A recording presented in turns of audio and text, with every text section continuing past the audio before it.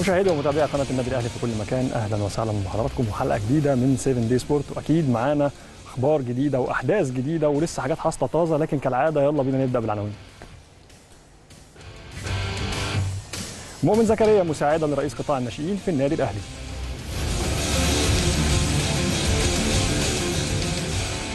الأهلي يخاطب اتحاد الكرة من أجل الساعة الكاملة وتفاصيل السوبر.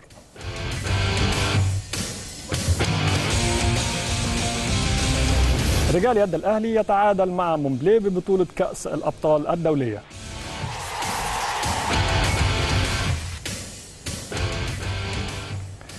بريرا متمسكا بالاستمرار في رئاسة لجنة الحكام رغم كل الشائعات.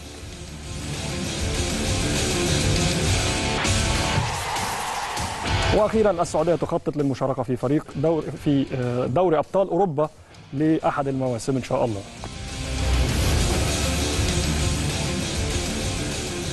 واكيد معانا احداث واخبار تانية. ويلا بينا نبدأ بقى حلقتنا على طول في قرار الحقيقة يعني مبهج. قرر النادي الأهلي تعيين الكابتن مؤمن زكريا نجم الأهلي ومنتخب مصر السابق مساعدا للكابتن وليد سليمان رئيس قطاع الناشئين. جاء القرار بعد الجلسة التي عقدها الكابتن محمود الخطيب رئيس النادي الأهلي والمشرف العام على كرة القدم مع الكابتن مؤمن زكريا في حضور الكابتن وليد سليمان. خبر مبهج جدا لكل الأهلاوية وخبر لواحد من ولاد النادي الأهلي واحد من المهريين من طراز رفيع ربنا يشفيه يا رب كابتن مؤمن زكريا واحد من ولاد النادي المخلصين الحقيقة يعني اللي على المستوى الفني كان ليه دور وبصمة في تاريخه الكروي سواء مع النادي الأهلي أو مع منتخب مصر. وكمان كان على المستوى الأخلاقي والإنساني هو واحد حب الناس ليه باين سواء وهو بيلعب أو في الوقت الحالي يعني بعد مرضه.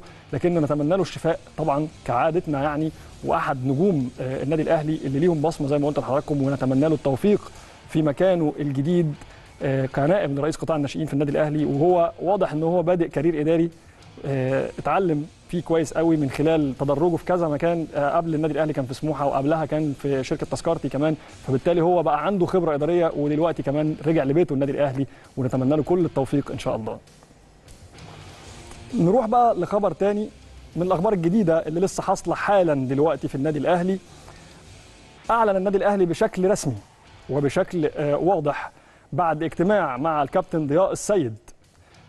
في مناقشة التطور المقترح من الكابتن ضياء السيد للنادي الأهلي بالتعاون بين شركة الكرة ومعانا على الشاشة الخبر أهو زي ما حضراتكم شايفين. الخبر ده لسه من دقائق. يعني زي ما حضراتكم شايفين معانا اهو الخطيب يناقش التطور المقترح للتعاون بين شركة الكرة والمستثمرين. ناقش الكابتن محمود الخطيب رئيس النادي الأهلي المشرف العام على الكرة مع ممثلي شركة الأهلي لكرة القدم كابتن خالد عبد القادر عضو مجلس الإدارة أمير توفيق القائم بأعمال المدير التنفيذي التصور المقترح من الكابتن ضياء السيد نجم الأهلي السابق للتعاون بين شركه بين شركة الكرة وبعض المستثمرين لتحقيق عوائد للطرفين. خلال الاجتماع شرح الكابتن ضياء السيد طبيعة المشروع وآلية العمل فيه ودور المستثمر مع شركة الكرة في إطار تعاون رياضي استثماري يحقق طموحات الجانبين. الحقيقة خبر مهم في العلاقة بين الأهلي والاستثمار الرياضي نشاط كبير طبعا لشركة الكوره في إن هم يجذبوا مستثمرين وتزود العوائد بتاعتك أو الدخل بتاعك للكوره تحديدا يعني ومن خلال الاستثمار في الكوره وده واضح جدا الفترة الأخيرة في النادي الأهلي في حاجات كتير قوي. كعادة النادي الأهلي بيدور على التطور. النادي الأهلي نادي متطور بطبعه في كل المجالات وفاتح بابه لكل اولاده اللي عنده مقترح اللي عنده فكرة اللي عايز يقعد مع شركة الكورة. أي حد عنده اقتراح هيضيف للنادي الأهلي ويفيد النادي الأهلي مرحبا بيه في النادي الأهلي. هو أكيد بيتم دراسته بشكل مفصل من الكابتن محمود الخطيب ومن لجنة أو مش لجنة التخطيط بس خلي بالك من شركة الكورة كمان دلوقتي. فبالتالي أنت عندك ولادك عندهم أفكار وعندك ناس عاملة already CV قوي في كل شغلها اللي اشتغلته من ولاد النادي الأهلي. فلما يجي لك حد منهم بفكرة طبيعي إنك تستقبله وتفتح له الباب ويتم دراسة الحالة اللي هو مقدمها. يعني كابتن خبرة السيد خبرة كبيرة جدا جدا جدا كمدرب. وكإداري وككل حاجة اشتغل. الراجل ده خلي بالكم يا جماعة كابتن ضياء السيد ده مكتشف كتير من النجوم في منتخب الشباب. محمد صلاح ومحمد النني وحجازي الناس دي كلها جيل ال 91 ده كله جيل رائع كان موجود مع كابتن ضياء السيد في منتخب مصر. نروح بقى لخبر تاني مهم قوي وده خبر مهم أيضا يخص النادي الأهلي أرسل النادي الأهلي خطاب إلى الاتحاد المصري لكرة القدم يطالب فيه التواصل مع الجهات الأمنية للموافقة على الحضور الجماهيري بالسعه الكاملة لكافة المباريات في الموسم الكروي الجديد. جاء ذلك بعد التجارب العديدة الناجحة على مدار الموسم الماضي والدور الكبير لرجال الأمن الموقرين الذين يستحقون التحية والتقدير على الجهود التي بذلوها وكانوا وراء النجاحات التي أعادت الروح للملاعب من جديد.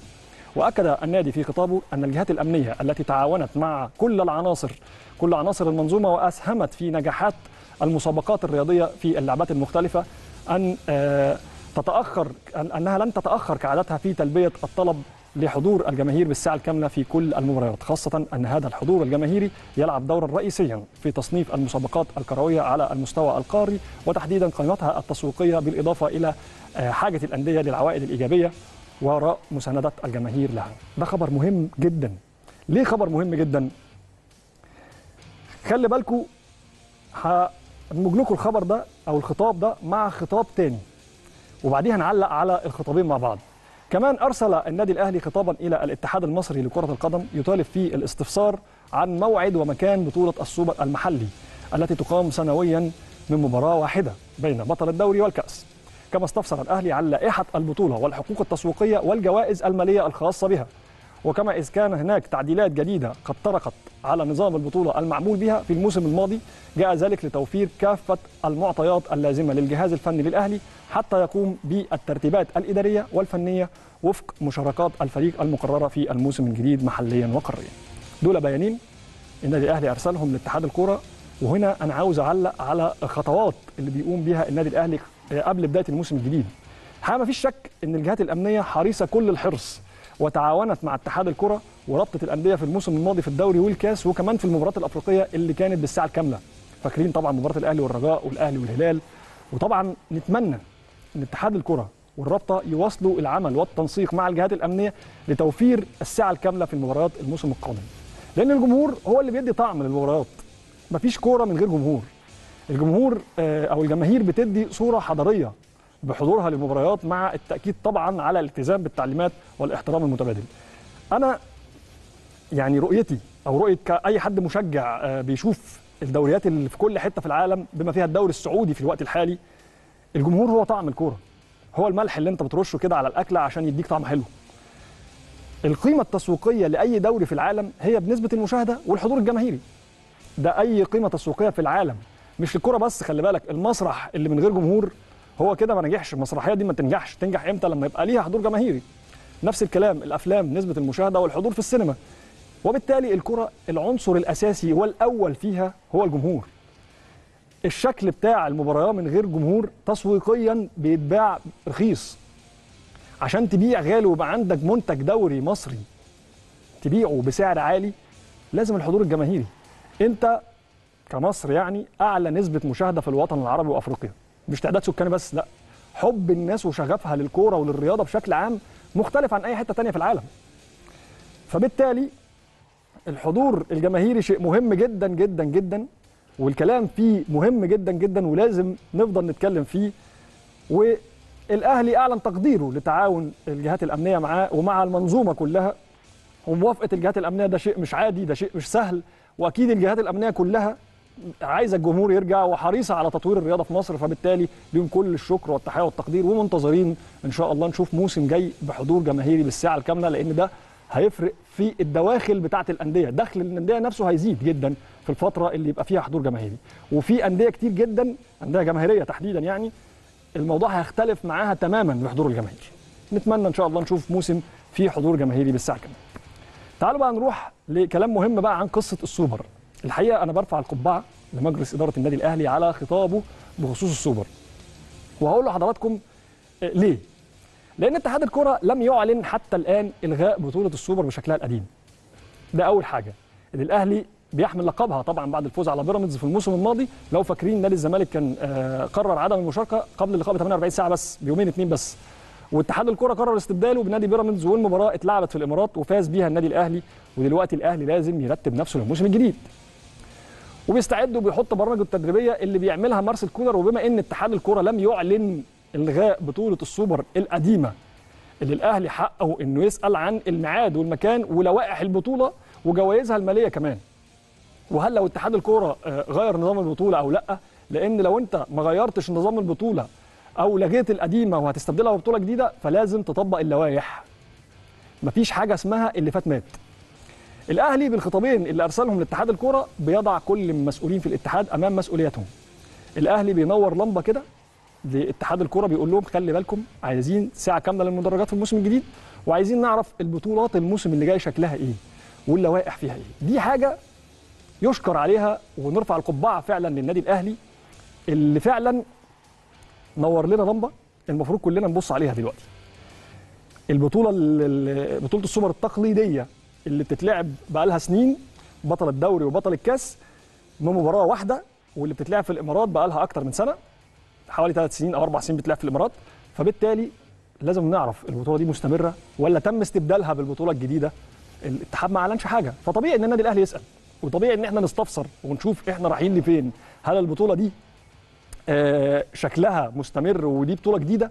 ولا انت لغيت القديمة والبطولة الجديدة ديت آه، هي اللي هتحل محلها؟ طب واللوائح بتاعت البطولة القديمة والإجراءات اللي انت خدتها ضد النادي اللي ما شاركش في البطولة اللي فاتت. كل الكلام ده دي آه، تساؤلات بيطرحها النادي الأهلي ولابد من الإجابة عليها من اتحاد الكره هو اتحاد الكره هو اللي له الحق إنه يرد عليها الحقيقة. نكمل أخبارنا بقى بعد كده. الكابتن محمود الخطيب رئيس النادي الأهلي حرص على زيارة الكابتن حمدي جمعة لاعب الأهلي السابق بمستشفى المعلمين للاطمئنان على حالته. بعد الوع- الوعكة الصحية التي تعرض لها خلال الساعات الماضية. والتقى الكابتن محمود الخطيب خلال زيارته بقيادات المستشفى والطبيب المعالج وتأكد من توفير الرعاية والعلاج اللازم وأعرب عن تمنيه بالشفاء العاجل للكابتن حمدي جمعة وأن يتجاوز الأزمة ويعود بموفور الصحة والعافية إلى أسرته. يمكن دي حاجة مش جديدة على الكابتن محمود الخطيب الحقيقة ولا النادي الأهلي. وبالاهتمام بكل أبناء النادي الأهلي وبنتمنى كل الشفاء العاجل للكابتن حمدي جمعة واحد من نجوم الزمن الجميل في النادي الأهلي طبعا. ودي الحاجة اللي إحنا متعودين عليها من ولاد النادي ومن رئيس النادي الأهلي. ونتمنى الشفاء العاجل. والأهلي عمره ما بينسى أي حد من ولاده. عمره ما بينسى أي حد كان ليه دور في تاريخه. وده جزء من تاريخ النادي الأهلي. والكابتن محمود الخطيب تحديدا حريص جدا على التواصل مع كل آه، النجوم وأسر النجوم وحتى نجوم الزمن الجميل اللي بقى لهم فترة غايبين عننا. الكابتن محمود الخطيب آه، حريص جدا على التواصل معاهم بشكل مستمر الحقيقة يعني وده دور يحسب للكابتن محمود الخطيب وبالمناسبة دي كمان نتمنى الشفاء العاجل لأحد مشجعي النادي الأهلي أمح الدولي نتمنى له مع واحد من ذوي الهمم طبعا واحد من مشجعي النادي الأهلي دايما حضوره في الاستاد الشفاء العاجل لأمح الدولي يعني وعكة صحية بيمر بيها نتمنى له فيها يعني إنه يقوم منها بالسلامة على خير إن شاء الله. لسه مستمرين مع النادي الأهلي. الكابتن محمود الخطيب رئيس النادي الأهلي تفقد عدد من المشروعات الإنشائية داخل فرع الأهلي بالشيخ زايد. وفي مقدمتها طبعا كانت منطقة جلوس الأعضاء اللي تم افتتاحها مؤخرا بعد الانتهاء من كافة الأعمال الخاصة بها وكذلك متابعة مراحل العمل في ملاعب كرة القدم المغطاة بالنجيل الصناعي وملاعب البدل وأماكن انتظار السيارات وبوابة النادي طبعا. غيرها طبعا من الإنشاءات والمشروعات المقررة افتتاحها خلال الفترة المقبلة والمدرجات ضمن الخطة الإنشائية بالفرع. ال- المدرجة طبعا ضمن الخطة الانشائيه بالفرع، رافق الكابتن محمود الخطيب خلال الزيارة طبعا دكتور سعد شلبي المدير التنفيذي للنادي الأهلي والمهندس سامح علي كامل المستشار الهندسي لمجلس إدارة النادي الأهلي واللواء ناصر أبو زيد مدير فرع زايد واللواء يحيى أباظة مدير الأمن وبحضور الشركة المنفذة للمشروعات. استمع طبعا الكابتن محمود الخطيب زي ما حضراتكم شايفين في الصورة كده إلى شرح آه، من المهندس سامح علي كامل للمشروعات الإنشائية داخل فرع النادي الأهلي بالشيخ زايد ومراجعة المواعيد التي سبق أن تم تأكيدها والتأكيد عليها للانتهاء من هذه المشروعات ووجه خلال حديثه مع المستشار آه، الهندسي والشركة المنفذة بضرورة الالتزام بالمواعيد مع مراعاة جودة المواصفات في كافة المشروعات. وطبعا المهندس علي سامح آه، المهندس سامح علي كامل قال إن منطقة جلوس الأعضاء اللي تم الانتهاء منها وافتتاحها بشكل رسمي وتضم- شاشة عملاقة على أعلى مستوى آه، تعد إضافة جديدة على المستوى الخدمي لأعضاء النادي الأهلي لافتا إلى وجود مخطط إنشائي لربط عدة مناطق داخل الفرع. وأشار إلى اتخاذ خطوات جديدة في ملف حمام السباحة بالشيخ زايد حيث سيتم طرح الأعمال الخاصة بحمام السباحة الأسبوع المقبل. طبعا ده للبدء في تنفيذ والأخذ في الحسبان الالتزام بالخطة الزمنية المحددة لكافة المشروعات. شغل النادي الأهلي ما بينتهيش خلي بالكم رغم افتتاح الفرع الخامس أو الفرع الرابع في التجمع الخامس شغالين في موضوع العالمين فرع العالمين وشغالين في التطوير في الفروع اللي موجودة سواء فرع زايد أو فرع الفرع الرئيسي أو فرع مدينة نصر. كل دي حاجات النادي الأهلي لا يغفل عنها وانت بتاخد بطوله بتبص للي بعديها وكمان بتعمل فرع بتبص للتطوير اللي موجود عندك فيه وبتبص للفرع اللي بعد دي طريقة النادي الأهلي الحقيقة اللي ما بتتغيرش يعني. نروح بقى الخبر مهم جدا. أعلن الكابتن خالد بيبو مدير الكرة بالنادي الأهلي عن تجديد عقد اللاعب محمد مجدي قفشة لمدة ثلاث سنوات قادمة بالإضافة للسنة المتبقية في عقده. يعني بقى موجود أربع سنين دلوقتي. قال كابتن بيبو إن قفشة وقع العقد الجديد على بياض وترك التقدير المالي للنادي الأهلي والذي بالتأكيد يقدر كل أبنائه الذين يساهمون في رفعه شأنه في كل المحافل. الحقيقة إن موقف قفشة من المواقف الرائعة للاعبي الجيل الحالي. وعلى فكرة سواء اللي جدد أو اللي خد خطوة جديدة في مشواره بره النادي الأهلي هتلاقي إن الموضوع بيتم بشكل شيك قوي. كل الشياكة بكل الاحترام والتقدير متبادل بين النادي الأهلي واللعيبة النادي الأهلي بيقدر لعيبته وكل من ينتمي له واللعيبة عارفة قيمة الأهلي كويس جدا. قفشه ضرب مثل للاعب اللي ما بيتكلمش كتير وبيشتغل في صمت وبيحب النادي الأهلي وأرقامه هي اللي تتكلم عنه. وطبعا هو بينه وبين الجمهور علاقة خاصة يعني.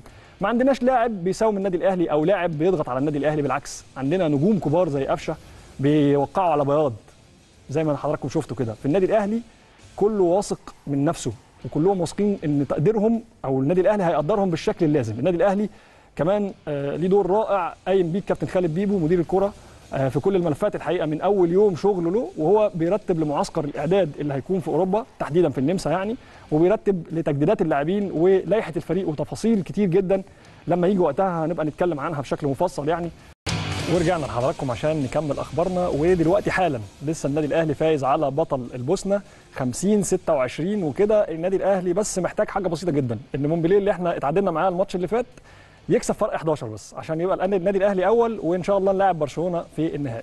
طبعا البطولة دي بطولة الدولية للهاندبول دي ليها نظام مختلف هم مجموعتين كل مجموعة أربع فرق.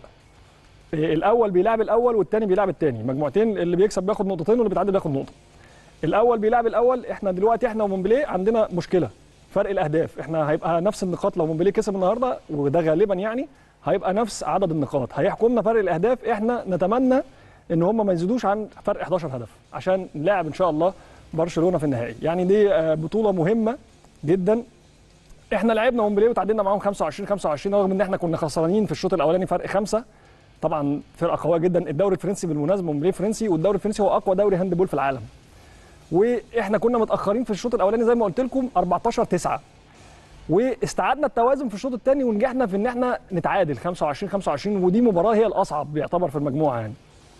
إحنا بدأنا البطولة فوز يورو فارم ده كسبناه 34 23 وده فرق كان كويس. وطبعا دي كانت ضربة بداية كويسة جدا ادتنا النقطتين الأولانيين. آه يعني بطولة مهمة جدا ونتمنى إن إحنا إن شاء الله نلاعب برشلونه خلاص في النهائي بقى يعني إحنا نتمنى إن مونبليه ما يكسبش أكتر من فرق 11 تعالوا نروح لمداخلة مهمة جدا مع الناقد الرياضي. زميلنا الناقد الرياضي محمد ناجي والحقيقة محمد ناجي من المتميزين جدا في تغطية كرة اليد والألعاب الجماعية والفردية عموما يعني بعيدا عن كرة القدم. أهلا بيك يا أستاذ محمد على شاشة قناة النادي الأهلي. أهلا بيك في 7 دي سبورت. أهلا بيك يا عبد الرحمن. سعيد إن أنا موجود معاك وطبعا شيء يشرفني إن أنا اكون ضيف معاك يعني في في يعني أنا اللي سعيد بوجودك معايا الحقيقة زميل عزيز ربنا يخليك. الله يبارك. قول لي بقى الماتش اللي خلص دلوقتي ده كنا عاملين فيه إزاي؟ إحنا كنا هنا على الهوا برضو آه مظبوط. هو الماتش لسه خلصان من لحظات 50 26 للنادي الأهلي. الأهلي بدأ المباراة بشكل مش أفضل حاجة. اللعيبة كانت نازلة متسرعة حاطه في حساباتها إن عايزة تكسب بأكبر قدر من الأهداف عشان لأن اوريدي هم عارفين إنه إحنا المعركة هتبقى بيننا وبين مونبليه دلوقتي. هي معركة فرق أهداف. مونبليه هيلعب بالليل كمان. إحنا حظنا إن إحنا لعبنا آه. الأول برضو دي نقطة ثانية آه دي من ضمن الحاجات فعلا اللي ما كانش يعني في صالحنا. هم خلاص دلوقتي already نازلين عاملين حساباتهم ان هم محتاجين يفوزوا باكثر من 11 جون فرق. فده يديهم صدارة المجموعة. آه في فريق يورو فارم من ضمن الفرق الكويسة وفريق جيد جدا. آه يمكن هو أقوى من بطل البوسنه اللي إحنا لعبناه دلوقتي. فنتمنى إن هم يقاوحوا معاهم شوية على الأقل في الفرق يعني. ده حقيقي وإن شاء الله يعني نتمنى إن الأمور تمشي في في السكة دي. مونبليه لو بدا الماتش بنفس الطريقة اللي إحنا بدأنا بيها في الجيم النهارده. أعتقد إن الأمور هتكون أصعب عليه إن هو هيكون نازل هدفه إنه عايز يسجل كل كورة. ودي من ضمن الحاجات اللي ما بتبقاش دافع تخلي الفريق يطلع أفضل ما عنده. إحنا نروح بس لمشاركة النادي الأهلي نتكلم عليها الأول. أنت واقف مجموعة فيها يورو فارم فريق بطل مقدونيا. من ضمن الفرق الكبيرة في أوروبا بيلعب في الدوري الأوروبي. طبعا. فريق بالمناسبة كان محترف فيه آه، كريم هنداوي حارس منتخب مصر السابق ودلوقتي راح- آه. آه طبعا. من ضمن أفضل حراس مصر يعني. آه كان كان احترف هناك فترة. آه من ضمن عنده عنده عناصر كتير كويسين. مومبليه فيها محترف مصري برضه بالمناسبة مش أحمد كده هشام أحمد هشام السيد. واحد من الواعدين جدا يعني في الكرة المصرية. يعني من أفضل صناع ألعاب مصر آه، كان كده كده موجود في الجيل بتاع 2019 اللي خد آه، بطل العالم. مظبوط، كابتن طارق 19 محروس. سنة. آه، كان كان هو في الجيل هو لعب مع كابتن طارق خد ثالث لعب عالم. مع كابتن حسين زكي كمان. لعب مع كابتن حسين وكابتن مجدي أبو المجد. مظبوط. في بطولة العالم اللي كان في 2019 اللي كان في مقدونيا وخدوا بطل عالم. فمن ضمن اللعيبة المميزين اللي حاطط اللي دايما حتى كل المديرين الفنيين اللي بيدربوا منتخب مصر سواء باروندو أو باسطور المدير الفني الحالي بيبقوا حاطين آه، يعني آه، عليه آه، آمال وأفكار كتير جوه الملعب آه، نظرا لتميزه الشديد في تنويع مصادر اللعب باختراقات أو تمريرات مميزة أو حتى تصويبات قوية جدا. ده حتى شفناه امبارح قدامنا قدام فريق النادي الأهلي. الأهلي امبارح قدم مباراة قوية جدا جدا جدا. رجع في الشوط الثاني رجعة هايلة جدا يعني طبعا. بأمانة خلي بالك إن إحنا برضو إحنا بنلعب تقريبا بصانع لعب واحد وأحمد خيري. يعني البديل بتاعه آه، هو أحمد راضي آه، اتصاب في في- أصلا في المباريات التحضيرية للبطولة دي في البوسنة. الأهلي على فكرة يعني مع ديفيد ديفيز أنت تحس إن الفرقة بقى عندها شخصية قوية جدا. الحقيقة دور المدرب الجديد للنادي الأهلي يعني أنا حاسس إن في لعيبة كتير فرقت في أدائها مع المدرب الموجود طور دلوقتي طور. طور طور أداء لعيبة كتير جدا في جوه الفرقة. آه، ده بالإضافة إنه حتى بعيدا عن قصة التطوير عبد الرحمن بيتكلم مع اللعيبة إن في في بعض اللعيبة بتبقى خايفة تروح على الجول بتبقى خايفة إنها تروح تسجل أو تضيع. هو بيقول لهم لا خد خد أنا اللي بديك. يعني أنا أنا الحامي ليك. أنا الظهر اللي هيكون آه، بالنسبة لك. روح وسجل وسدد. سواء سجلت أو لا. أنا اللي هتسال عن النتيجة مش أنت اللي هتسال عن النتيجة. فده بيخلي اللعيبة عندها دفاعية وحرزيه أكبر بكتير إنها تقدم أفضل ما عندها. أعتقد إن الموسم ده هيكون مليء بالبطولات للنادي الأهلي على صعيد الهاندبول. يمكن الموسم اللي فات كمان كان بداية إن إحنا نعمل موسم قوي مرة واحدة ناخد كل البطولات تقريبا. السنة اللي فاتت خدت دوري وكاس وكاس أفريقيا وخسرت كاس الكوس على يعني حاجات بسيطة جدا. كنت قريب كمان من إن أنت ترجع أنت خسران المباراة النهائية. أنت خسرت في آخر 30 ثانية تقريبا من كاس بفرق آه بفرق بفرق جول ولو كان الجيم فيه دقيقتين ثلاثة على الاهلي كان هيرجع في النتيجة. وكان قادر إن هو يفوز بالمباراة ويفوز بالكاس يعني. آه لكن أعتقد إنه آه، الراجل شغال على احتياجات الفريق بشكل كويس جدا. عنده ميزة مش كتير عند مدربين أجانب. المدرب الأجنبي بيبقى هدفه إنه أنا عايز العنصر اللي أكسب بيه. لكن الراجل آه، بيبص كويس جدا على قطاع الناشئين على الفرق اللي تحت. ممكن مين اللي يقدر من اللعيبة اللي موجودة دي دي نقطة مهمة كمان لأن منتخبات الشباب والناشئين عندنا محققين أعلى مستوى تقريبا حقيقي. أنت دايما على طول في المربع الذهبي يعني دايما في أول ثلاثة كمان مش في الأربعة فبالتالي طبعاً. لازم أي مدرب يجي يبص على في القطاعات عندك لأن أنت عندك كنز فعلا يعني وده هي وده هيساعدك في حاجات كتير اولا إن هو هيخليك إن أنت تستفيد بالعناصر اللي موجودة عندك وتبدأ تهادي بيها المنتخب الوطني لأنه ده أنت الأهلي والزمالك آه، يعني شاء من شاء وأبى من أبى هم ال- العنصر الأساسي أو الدعم الأساسي لكل المنتخبات الوطنية طبعا. في الألعاب في الألعاب الجماعية تحديدا يعني. ف لكن أنت الأهلي مليء يعني قطاعات الناشئين عنده ال- السنين اللي فاتت دي مليانة بلعيبة مميزة. هو الراجل بيبدأ يديهم آه، فترات كتير من ضمن فترات اللعب. انت ما شاء الله عندك قطاع الناشئين طلع لك جون السنتين اللي فاتوا اللي هو عبد الرحمن عبد حميد. الرحمن حميد مصاب دلوقتي مصاب آه. حميد دلوقتي بتطلع واحد ما شاء الله برضه ماشي بنفس المستوى يعني فانت عبد لا ما شاء الله. و- ومقدم أداء كويس جدا. أنا عايز أقول لك امبارح إن هو ديفيد ديفيس كان حتى عنده استراتيجية بالرغم من إنه يلعب مونبلييه فريق كبير وصيف بطل فرنسا خسران الدوري الفرنسي السنة اللي فاتت على مباراة. من باريس سان جيرمان يعني هو آه. الثاني لباريس سان جيرمان. ويعني باريس سان جيرمان منتخب العالم ده. منتخب العالم. بالظبط. حرفيا آه انت بتتكلم في فرقة team فيها عناصر أفضل عناصر كرواتيا أسبانيا ألمانيا. هو يعني منتخب العالم في الهاندبول هو باريس سان جيرمان ده حقيقي يعني. فخسران على مباراة آه، بالإضافة إن هو كمان السنة دي بيلعب دوري أبطال أوروبا عنده مجموعة قوية جدا. فهو بالنسبة له البطولة دي مش جاي ترفيه أو إن هو جاي من الماتشات بالنسبة له احتكاك آه، ما هو الاحتكاك ولا أقل يعني لا هو بالنسبة له مركز جدا. إحنا شفنا حتى امبارح مدير الفني الأجنبي بتاع مدير الفني الفرنسي هو بالمناسبه هو مدير الفني ال- ال- المحلي بتاع بتاع الفريق آه، مونبلييه بقى له 30 سنة. يعني عنده خبرة مع طالع. باللعيبة دي بأجيال ورا بعض يعني. ده ده ده حقيقي. أنا حتى كنت بكلم كابتن هيثم امبارح في في نقطة كانت مهمة جدا إنه آه، فيلو لوزيرت اللي هو مدير مدرب حراس المرمى في النادي الأهلي هو كان من ضمن العناصر اللي كان بيدربها المدير الفني بتاع مونبلييه قبل الله كده يعني. سابقا آه را- راجل يعني آه ليه باع طويل جدا في في الدوري الفرنسي ومع الفرقة فحافظ تفاصيل الفرقة بحذافيرها قادر إن هو يوظف كل لعيبته امبارح مخلص ال game ب full team هو امبارح حتى يعني كان طبعا بيحاول إن هو يعمل بيغير بعض عناصره وبيريح عناصر أساسية بيبدأ يدي لكن هو يعني يدي لك مثال على إن هو الراجل مركز في كل تفاصيل ال game امبارح وكان هدفه إنه يفوز بالمباراة إن هو مخلص ال- الماتش امبارح full team قدام قدام النادي الأهلي بيلعب بكل عناصره الأساسية قدام الأهلي امبارح ف يعني تجربة واحتكاك قوي جدا بالنسبة للأهلي أعتقد إن هو إن شاء الله ده هيكون من ضمن الحاجات والعوامل المهمة والمؤثرة لأن الأهلي السنة دي عنده season طويل جدا في سبع بطولات فأنت محتاج كل عنصر من ضمن عناصرك تكون جاهزة. وفايقة وقادرة إنها تقدر تكون تساعدك في في المعركة الكبيرة دي لأن أنت مش هتلعب بطولة أو اثنين أو ثلاثة فخلاص يعني هيكون عندك حتى رفاهية إنك تقدر تغير وتبدل. أنت عندك سبع بطولات.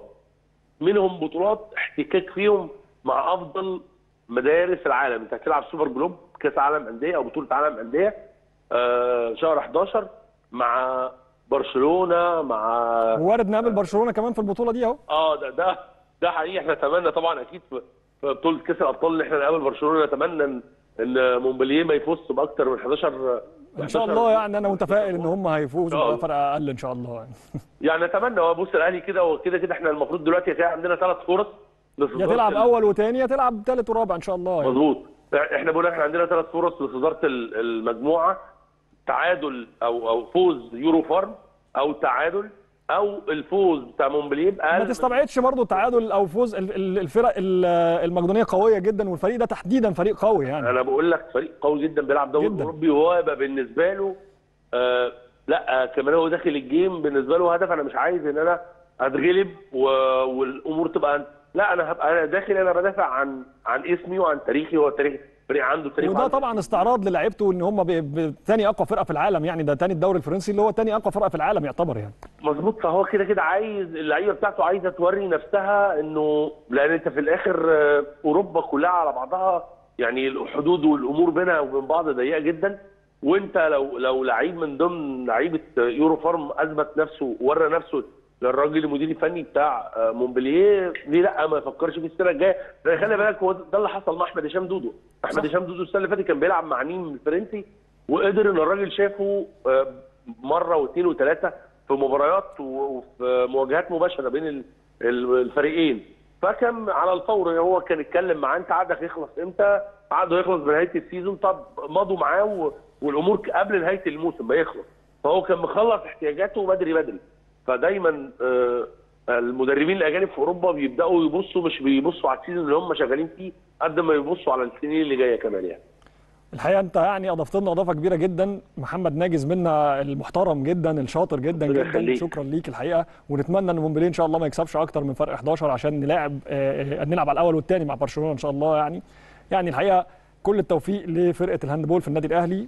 فرقة ماشية بخطى ثابتة جدا معاهم مدرب محترم قوي آه، مطور الفرقة بشكل كبير جدا. الموسم اللي فات مفنشين بمستوى عالي جدا وادي الموسم ده هم ماشيين بخطوات كويسة في أول بطولة ليهم. نتمنى لهم كل التوفيق إن شاء الله.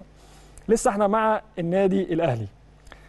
حفل تكريم لفريق الأول للتنس الأرضي بالنادي الأهلي سيدات التنس الأرضي بالنادي الأهلي بعد حصولهم على بطولة الدوري العام لموسم 23 آه، يعني بعد أن قدم مستويات مميزة جدا جدا على مدار الموسم ونجحوا في تحقيق نتائج جيدة جدا خلال المباريات اللي خدوها في مشوارهم في بطولة الدوري.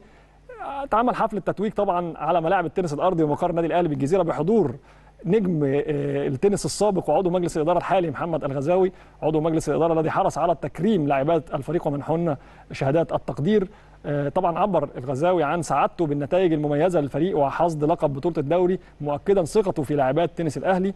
وإن هم يعني بيسعوا دايما لحصد الألقاب والوقوف على منصات التتويج واشاد كذلك بالمجهودات الكبيرة اللي بيقدمها الجهاز الفني على مدار الموسم وتوج فريق السيدات بلقب البطولة بعد الفوز على فريق وادي دجلة بنتيجة 5-1 في المباراة النهائية اللي جمعت بينهم منذ أيام. الحقيقة يعني هم معاهم كمان واحد من أساطير التنس في النادي الأهلي عضو مجلس الإدارة محمد الغزاوي اللي هو فعلا واحد وجوده معاهم يديهم بوش كبيرة جدا يديهم دفعة قوية جدا إن هم يستمروا كمان ويقدموا للموسم اللي جاي نتائج أحسن كمان إن شاء الله ويفوزوا برضه بالدوري إن شاء الله. لسه إحنا مع النادي الأهلي ولكن أعلن الكابتن خالد بيبو مدير الكرة بالنادي الأهلي عن الموافقة على بيع اللاعب محمد شريف إلى نادي الخليج السعودي. ده طبعا جه بعد الرجوع لمارسيل كولر المدير الفني للحفاظ على الاحتياجات الفنية للفريق وبالفعل تم استقبال محمد شريف في السعودية استقبال رائع جدا وعنده فرصة كبيرة قوي مع الفرق المنافسة وسط نجوم عالميين زي رونالدو وبنزيما ونيمار وغيرهم من النجوم الكبار جدا اللي اتعاقد معاهم الأندية السعودية في الموسم ده. محمد شريف قضى مع الأهلي سنوات من أنجح المواسم والمواسم الكتير اللي قدمها النادي الأهلي وتألق ووصل لأنه كان هداف الدوري في أحد المواسم وهداف دوري أبطال أفريقيا في موسم واحد كمان من اللاعبين العاشقين النادي الأهلي. يعني النهارده كمان الخليج هيلعب في مباراة في الدوري السعودي أمام أهلي جدة. ماتش مهم نتمنى لهم التوفيق فيه في وجود نجمنا يعني محمد شريف. نروح نشوف تقرير عن لاعبنا محمد شريف المنتقل حديثا للدوري السعودي ونطلع فاصل ونرجع لحضراتكم مرة أخرى.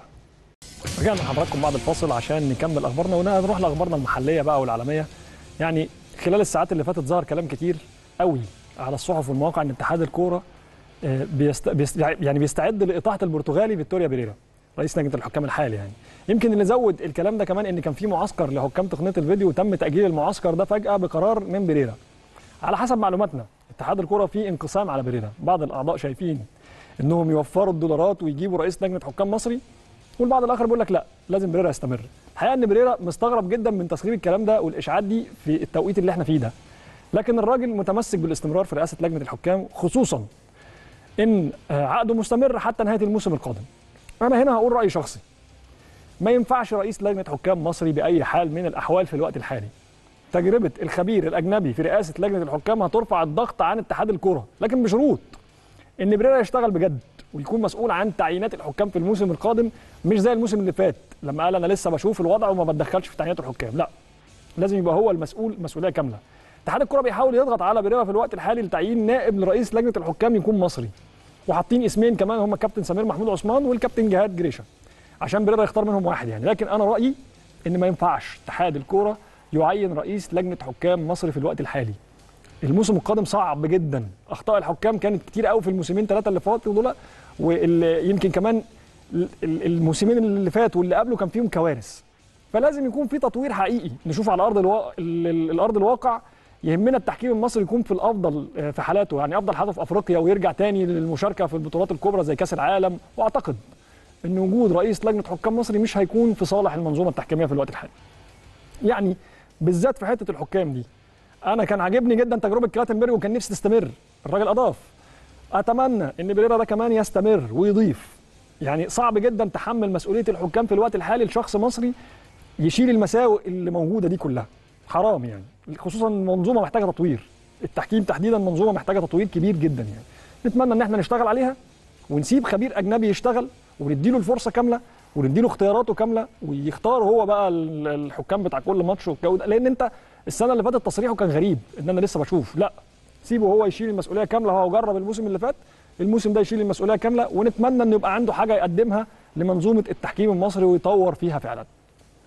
نروح بقى لخبر تاني من رابطة الأندية المحترفة اللي بتحدد موعد نهائي لبطولة الدوري الموسم اللي جاي ده إن شاء الله في الاجتماع المقرر له يوم 2 سبتمبر المقبل وتم تحديد موعد مبدئي أحد يومي 19 أو 20 سبتمبر لانطلاقة الدوري وهو ما سيتم حسمه خلال الاجتماع اللي هو المفروض يعني يوم الأحد الجاي. أجرى مجلس إدارة الرابطة الدوري القسم الأول مساء الثلاث اجتماع الاجتماع التنسيق الأول في دورته الجديدة يعني. وشهد انتخاب أحمد دياب رئيسا للرابطة وعماد متعب نائب رئيس الرابطة زي المرة اللي فاتت يعني حيث أقيمت الانتخابات تحت إشراف لجنة الانتخابات برئاسة اللواء حلمي مشهور وعضوية وليد العطار ومحمد المشاطه والتي أعلنت فوز الخماسي بالتزكية بجانب انتخاب الرئيس ونائب الرئيس وضم مجلس إدارة رابطة الأندية القسم الأول إلى جانب دياب ومتعب كل من خالد شكري شريف صالح وأحمد محمد هاشم في مقاعد العضوية واللواء صفي الدين مسيوني واللواء ثروت سويلم مرشحا لمجلس إدارة الاتحاد للعضوية الرابطة. طبعا ده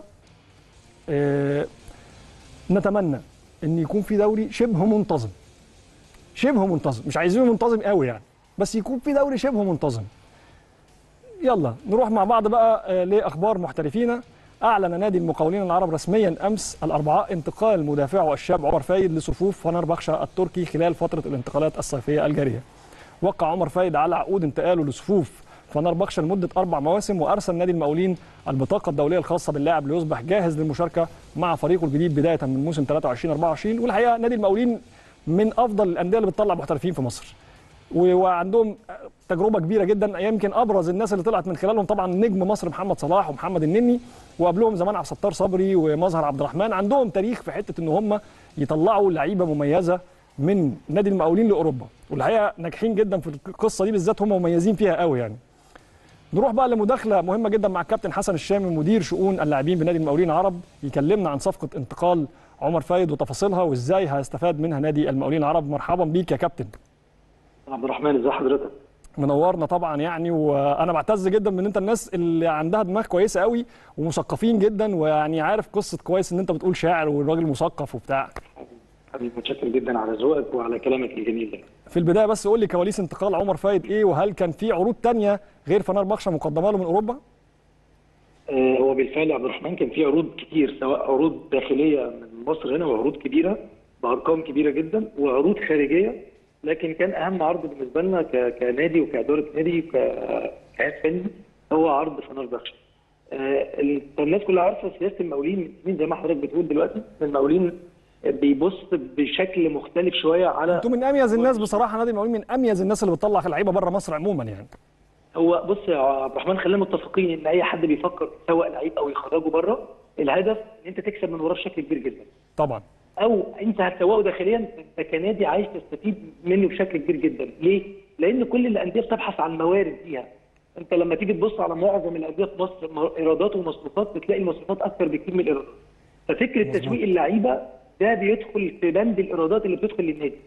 فكل نادي بيصيغ الموضوع ده في الشكل اللي بيتناسب معاه ومع الفلسفة بتاعته. المقاولين العرب الموضوع مختلف بالنسبة لنا كنادي آه، خصوصا المهندس محمد عادل. مشرف عام على قطاع الكورة والمهندس محمد صلاح رئيس النادي آه، ودول حضروا حاجات كثيره جدا على مدار التاريخ مع نادي المقاولين العرب. هم اللي مطلعين محمد صلاح والنني كمان هم نفس الأشخاص طبعا يعني. طبعا. فالهدف الهدف من من انتقال عمر سيد الهدف إن شاء الله إن شاء الله يبقى بيدر دخل كبير جدا على النادي في المستقبل. زي ما إحنا قعدنا سنين كتيرة جدا بنستفاد من محمد صلاح بشكل كبير بعد التعاقد الأولاني مع بازل. بعد كده محمد صلاح انت بتاخد حق رعايه ليه. محمد صلاح في أي انتقال ليه النادي بيحصل على حق رعايه والانتقال الأولاني ليه كان فيه إعادة بيع والحمد لله اخذناها طب وهل الشروط دي برضو محطوطة؟ لسه كنت طبعا. اسالك مم. طبعا طبعا. العقد بتاع عمر فايز فيه إن شاء الله يعني نسبة محترمة جدا في إعادة البيع. وانت ليك كمان حق الرعاية عمر انت ال- الولد الصغير من سن 13 سنة لسن 23 سنة انت ليك حق رعاية. حق, الرعاية فانت النهارده عمر فايز دلوقتي بقاله في النادي 8 سنين معانا الحمد لله يعني فأكيد لينا حق رعاية محترم فيه لو انتقل بعد كده من قناة بخشى لأي نادي أو من اللي بعد كده لأي نادي ثاني هنفضل ناخد فيه برضه مقابل مادي إن شاء الله يعني. طيب توقعاتك لمستقبل عمر في أوروبا إيه؟ يعني أنت شايف أنت طبعا شفته من أنت بتقول هو بقالكم 8 سنين شغالين عليه هو ما شاء الله وسوقتوه كويس وطلع فرقة مش صغيرة فنربخشة فرقة كبيرة في الدوري التركي يعني توقعاتك لمستقبله في أوروبا إيه؟ هل ممكن يبقى ليه طلعة حلوة كده زي محمد صلاح والنني يعني؟ بص يا عبد الرحمن أنا برضو من أنا أنا أول ما زي ما قلت لك أنا أول ما ما, تم الاعلان الاعتزال بتاعي آه، كنت متواجد إيه، كمدير شؤون اللاعبين بقطاع الكوره كله. وأنا على علاقة جيدة جدا بكل اللاعبين عمر سيد من الخامات ال- المريحة في التعامل. آه، من الخامات اللي مؤهلة بشكل كبير جدا إنه يقدر يحترف في أوروبا. معاه لغة مثقف آه، متربي بشكل كويس قوي. والده كمان مساعده في الجزئية دي بشكل كبير. فأنت قدام عقلية أو نموذج آه، مش هيتعبك في الاحتراف الخارجي. فعمر طول الوقت لما كنا بنتكلم حتى بعد أي مباراة طول الوقت لما بتتكلم لا أنت بتتكلم عقلية مختلفة. مش مش زي باقي اللعيبة في مصر. معظم اللعيبة في مصر بينقصهم حاجات كتير جدا. بينقصهم اللغة بينقصهم إزاي يكون عنده فكر ووعي وثقافة إزاي يتقبل الآخر. أنا اتكلمت عن قصة قبل كده إن في لعيب آه، لعيب كبير ولاعب منتخب مصر آه، حصل منه رد فعل في في في, فندق آه، مع الهاوس كيبنج بشكل اعترض على حاجة معينة وهي حاجة عادية جدا. كل بلد بيبقى لها عاداتها وتقاليدها لازم تبقى عارف ده لازم إزاي تتعامل مع الآخر. لو أنت ما عندكش الثقافة والوعي ده هيسبب لك مشاكل كتيرة جدا في أي مكان. لما تيجي تطلع بره مصر. عمر مش من الناس دي. عمر ما شاء الله عقليته ذكية جدا مثقف عنده وعي بيتكلم لغة كويسة. كل ده بيسهل عليه إنه إن شاء الله تبقى قناة بخشة محطة ليه للانتقال إلى الدوريات الأكبر والأندية الأكبر بإذن الله. فاحنا إحنا كمان الفترة اللي فاتت الباشمهندس محمد عادل كان بيكلفنا بملف آه، عدد من اللاعبين في قطاع الناشئين اتعمل لهم تحليل دي إن إيه. وأنت عارف تحليل دي إن إيه ده بيكشف حاجات كتيرة جدا في مستقبل طبعا اللاعب طبعا. بيتنبأ بالإصابات المستقبلية. بيقول لك البرنامج التغذية بتاع اللاعب ده يمشي عليه بشكل عامل إزاي؟ آه، تعاقدنا مع شركة لتطوير أداء الناشئين آه، من خلال المهارات. أنتوا واضح إن أنتوا واخدين فكرة تسويق اللعيبة وتقريبا أنتوا حتى من بره وانتوا شغالين بنفس الطريقة دي من من قبل كده من زمان من قبل محمد صلاح يعني حتى عبد الستار صبري ومظهر عبد الرحمن. الأسماء دي خرجت من نادي المقاولين برضو لكن واضح إن أنتوا مهتمين بتسويق اللاعبين من وهم صغيرين وإن أنتوا تكسبوا يعني هي زي ما انت قلت فعلا أنتوا ماشيين في حتة تسويق اللاعبين دي. هو هو تسويق اللاعبين بس مش تسويق وخلاص يا عبد الرحمن هو تسويق آه، بشكل جيد. لا ما انت واضح انت قلت أنتوا شغالين بشكل علمي وبتعملوا دي ان إيه وبتعملوا حاجات يعني آه، خبيرة جدا. قطاع الناش- قطاع الناشئين بتوصيات المهندس محسن صلاح والمهندس محمد عادل المشرف عام على الكورة. آه، توصيات كبيرة جدا ان دلوقتي بقى في في القطاع آه، مدرسين لغة آه، اهمها اللغة اللي هي الإنجليزي اللي هي اللغة المفروض السائدة يعني. آه، محللين آه، أداء محللين نفسيين يعني في اخصائيين نفسيين كمان موجودين. إحنا عندنا تجربة في النادي الأهلي من خلالكم برضو آه، تخلينا أشيد بيها طاهر محمد طاهر من اللعيبة اللي بتتكلم إنجليزي وفرنساوي كويس جدا عنده عقلية كويسة جدا. يعني الكورة مش موهبة بس طبعا أنت بتتكلم صح 100% طاهر. خرج من المقاولين العرب وعنده 17 سنة احترف. و... ولا وكان عنده عروض احتراف حتى وهو جاي الأهلي. هو أنتوا عندكم شغل في الحتة دي كويس قوي؟ لا واللعيب اللي بيخرج من المق- المقاولين العرب عنده عقلية مميزة جدا. موضوع طاهر برضو يا عبد الرحمن إحنا كنا كإدارة نادي بتسعى إن طاهر يطلع بره ويحترف في يحترف في أوروبا لكن طاهر كان رغبته النادي الأهلي. فالنادي برضو احترم ده بشكل كبير جدا. نفس الموضوع على عمر فايد اتعرض عليه عروض كتيرة جدا داخل مصر لكن الولد كان رغبته إنه يخرج بره. ورغبة النادي الأولى هي إن الولد يطلع بره. فلما رغبة الولد والنادي بتتفق مع بعض خلاص عمر كان عايز يحترف في أوروبا خلاص أوكي النادي وافق على ده. رغبة النادي الأساسية والرئيسية والأولى هو الاحتراف الفني لأن لمصلحة النادي أو آه، لمصلحة النادي وثانيا لمصلحة اللاعب لأن اللاعب هيستفاد بشكل كبير جدا وده هيعود بالنفع على منتخب مصر لما يكون عندك عدد محترفين كبير جدا هيفرق معاك معاك بشكل كبير. إحنا لما بنيجي نعمل إحصائيات يا عبد الرحمن مؤخرا دولة زي البرازيل فيها 220 مليون نسمة عندهم حوالي 13 و800 13 مليون و800 ألف لاعب مقيد بالاتحادات عندهم. ما شاء إحنا الله. دولة 120 مليون نسمة مقيد عندنا ما يقارب من 150 ألف لاعب. فالنسبه انت ما شاء الله عليك مذاكر. أنا عاجبني جدا ان انت مذاكر التفاصيل وبتشغل عليها كويس قوي. ما شاء الله عليكم يعني. عشان يا عبد الرحمن لازم نبقى عشان نتماشى مع اللي بيحصل بره. التطورات اللي بتحصل بره مش هقول لك بقى في أوروبا. النهارده لما تيجي تبص لنموذج زي الدوري السعودي الموضوع بيختلف بشكل كبير جدا. إحنا كنا سابقين بشكل كبير. طبعا. أنا عايز أقول لك على حاجة ان أول محترف في تاريخ أفريقيا حسين حجازي هنا مصري. طبعا معاك حق. طب خليني أسألك سؤال. ده هيوديني ليه لسؤال مهم جدا وده هختم بيك معاه. في لعيبة تانيين على رادار الأندية الأوروبية من لاعبي نادي المقاولين العرب في الوقت الحالي؟ في نموذج في لاعب لازم تفتكر الاسم ده بشكل كويس قوي. محمد عبد الناصر مواليد 2006 محمد عبد الناصر. محمد عبد الناصر. مواليد 2006 وده أصغر لاعب مصري في التاريخ لعب في الدوري المصري العام. وجاي له عروض من أوروبا في الوقت الحالي. عب- دلوقتي عبد الناصر إحنا بنجهز عبد الناصر في موضوع اللغة. في عمر موضوع اللغة فارق معاه بشكل كبير. لأن عمر التربية زي ما قلت لك ال- البيت التعليم ده فارق معاه بشكل كبير جدا. مع الوقت في أربع خمس عناصر مميزين جدا آه على رادار إن هم يبقوا النسخة الثانية من محمد صلاح بإذن الله. أنتوا شغالين أنتوا واضح إن أنتوا في موضوع ال- اللعيبة الصغيرين اللي طلعوهم انت فعلا نادي المقاولين كمان بالمناسبة ما هوش نادي جماهيري لكن هو شغال في الحتة دي كويس قوي. وانت قلت لي دلوقتي نقطة مهمة لفتت نظري ليها أنتوا شغالين على عقليات اللعيبة. ودي نقطة مهمة جدا. اتكلم عنها محمد صلاح. يمكن الناس خدتها بتهريج ساعتها لما قال منتاليتي وبتاع لكن هي لا نقطة مهمة جدا جدا جدا. ممكن لاعب يبقى عنده 50% وهبة لكن هو اشتغل على المنتاليتي ده فعلا يعني. بص يا عبد الرحمن احقاقا للحق يعني احقاقا للحق ده دور الإدارة.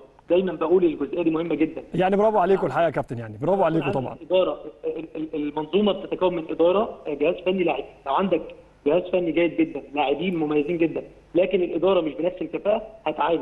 فاحقاقا للحق إدارة النادي المهندس محسن صلاح المهندس محمد عادل شغالين على أكتر من بروجكت جوه النادي بشكل كويس قوي واخدين كل تفصيلة بيدوها حقها.